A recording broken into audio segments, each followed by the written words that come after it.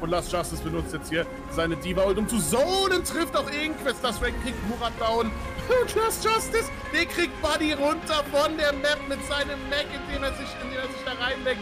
Wunderschöne Aktion hier. Und jetzt muss man hier schon von Kraftas hier ja, die Primary Rage benutzt, um den Point hier noch contesten zu können. Jetzt kommt Inquest wieder mit der Rocket Barrage und kriegt diesmal den Double Kill. Also diesmal die aggressive Barrage. Die bringt mitten auf den Point. Und äh, John Bishop, der ist jetzt hier auf dem Flank mit seinem Pick auf den Support. Also ist erstmal das Dynamite reingehauen. Das Blade von Last Dragon ist wieder am Start. Er kann aber nicht durch die Transcendence durchhauen, sondern es ist Faden, der mit seinem Heilen hier beide Supporter rausnimmt. Jetzt wird das Flux noch committed und John Bishop, der holt drei Picks hier. Ganz alleine ist er hier am Start, haut noch den Bob rein. Das sind nochmal 2, 5, 6. Jetzt Fireside auf dem Doomfist eben nochmal am Touchen, aber so wirklich wird das nichts dran verändern.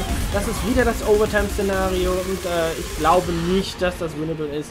Die Frankfurter letzten Endes doch viel zu stark hier unterwegs. Und da kommt der EMP direkt rein. Vier Leute sind geEMPt und Stevens Bombe findet direkt zwei davon. Wunderschöne klassische Kombi EMP-Bomb.